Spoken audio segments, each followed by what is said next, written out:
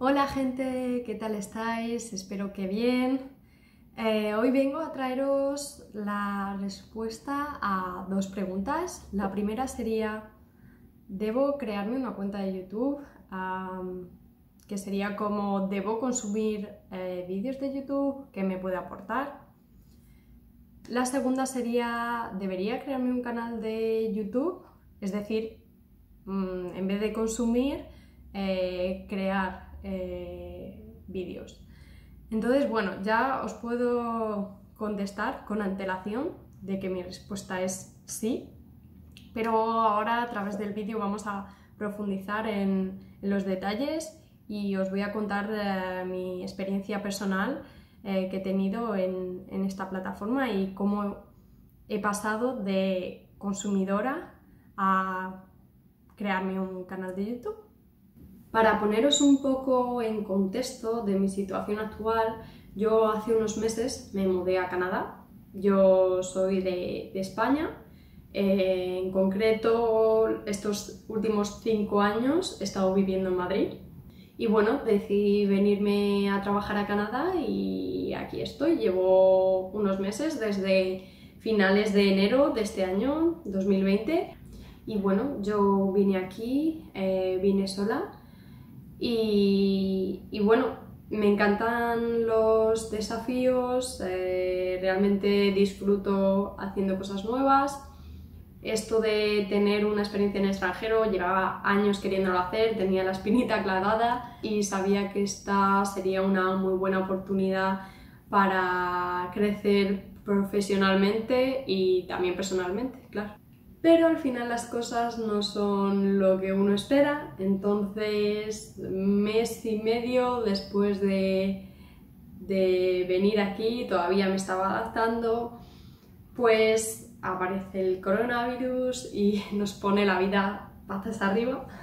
Pero bueno, la verdad es que no me puedo quejar. Eh, tuve la oportunidad de trabajar desde casa, mucha gente no ha tenido esa oportunidad porque su trabajo no les permite trabajar remotamente, entonces mucha gente tuvo que dejar de trabajar y bueno, en este sentido la verdad que muy contenta. Pero claro, como recién llegada pues no me lo esperaba la verdad y fue como eh, todos mis planes eh, se fueron al carajo y, y porque, claro, yo tenía en mente pues llegar a Canadá, visitar Canadá, eh, incluso visitar Estados Unidos, Latinoamérica, era mi primera vez en, en el continente americano y, y, claro, yo tenía en mente muchísimos planes, ¿no? Y, pero al final la vida es así, te da sorpresas. Espero que, que, que en un futuro sí, me, me encantaría. Pero bueno, de momento pues hay que posponerlos y adaptarse a la situación.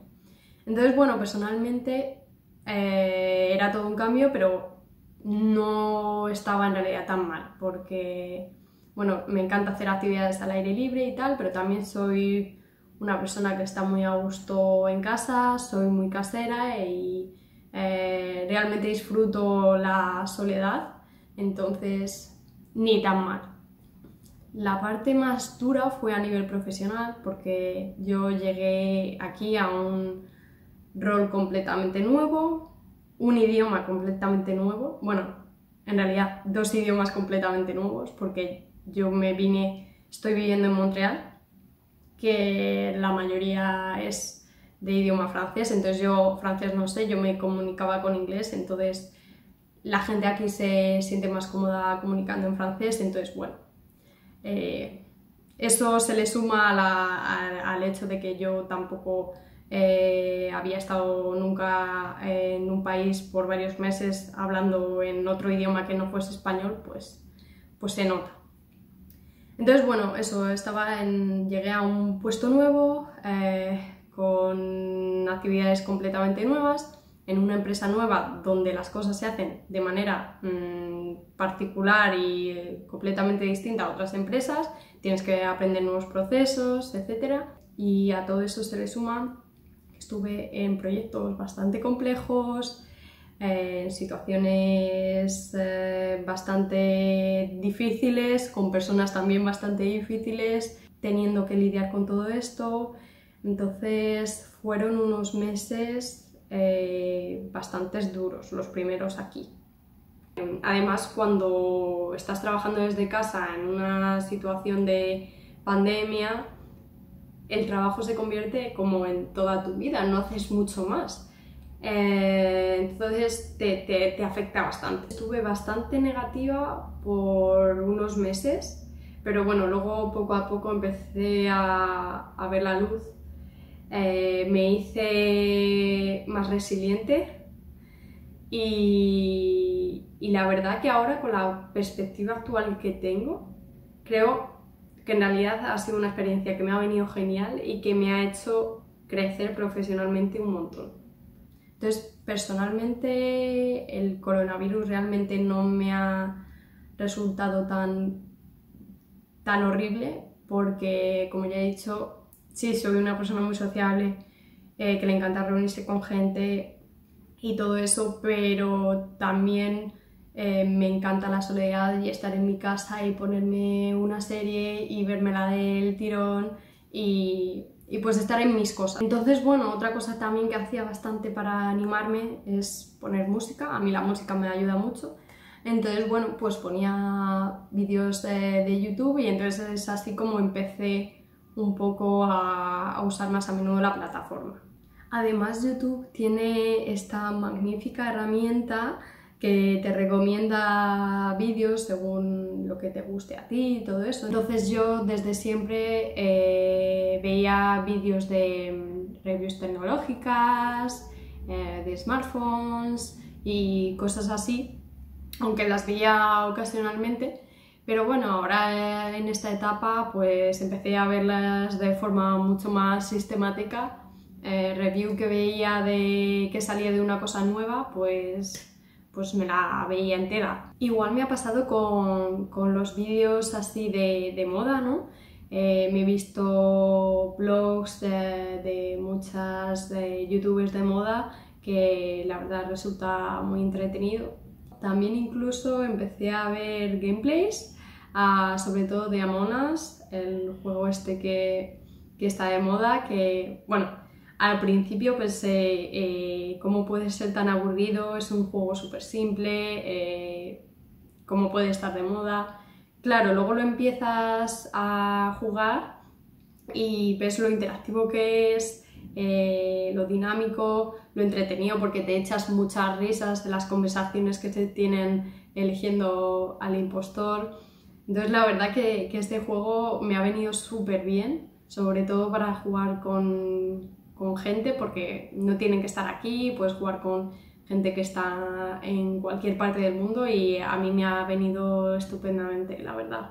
Bueno, en definitiva creo que YouTube es una fuente de recursos enorme, es una fuente de entretenimiento también muy grande y, puedes encontrar cualquier cosa que busques. Eh, con Google sí eh, puedes encontrar literalmente cualquier cosa y realmente verlo, encontrarlo súper deprisa, pero creo que YouTube tiene una manera mucho más eficiente y divertida de descubrir cosas nuevas, eh, también en el aprendizaje.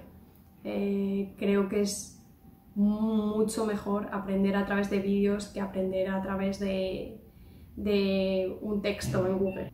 Entonces, cuanto más vídeos veía, más curiosidad me entraba acerca de este tema. ¿Cómo crean este tipo de gráficos? ¿Cómo hacen la edición de vídeo? ¿Cómo crecen en YouTube? ¿Cómo se les ocurren las ideas? ¿Sería difícil hacer todas las anteriores? Entonces cada vez me interesaba más y más todo el tema de, creación de vídeos eh, y empecé a ver tutoriales de edición de vídeos y vi que había un trabajo muy grande detrás de todo eso y en vez de echarme para atrás, eh, de alguna manera me llamaba más la atención. Y a eso se le suma que me di cuenta que yo necesitaba eh, expresarme, que tengo un montón de cosas que contar y pensé, bueno, ¿de qué mejor manera para hacerlo que a través de, de vídeos? Em, además, bueno, en la situación que estoy, que al final estoy sola con mis amigos y familiares a al menos 5.000 kilómetros eh, de distancia, eh, pues, pues podría ser muy entretenido y aportarme muchas cosas, eh, ocupar mi tiempo en, en, algo así. Entonces, bueno, yo cuando decidí esto estaba muy entusiasmada y, todo esto, pero claro, dije, bueno, tienes que, que poner argumentos racionales a todo este entusiasmo. Entonces dije, bueno, ¿y, ¿y cómo puedo hacer yo todo esto? ¿no? La creación de vídeos, eh, tengo tiempo para hacerlo porque, claro, actualmente yo estoy trabajando full time y pues tengo poco tiempo libre y ese poco tiempo libre que tengo ya le tengo ocupado. Eh, pero claro, ah, pues eh, empiezas a valorar ¿no? las actividades en las que empleas ese tiempo libre y al final es pues ver series random que no te aportan nada y dices, bueno, pues puedo disminuir eso y empezar a tomar tiempo de ahí y emplearlo para esta creación de vídeos, ¿no? Eh, al final tienes que valorar las cosas que, te aportan menos y las que te aportan más. Y sinceramente creo que me entretiene mucho más todo el proceso de, creación de vídeos, ¿no? Con, con el pensar una idea, hacer tu, indagación sobre esa idea, ¿no? buscar eh, cosas.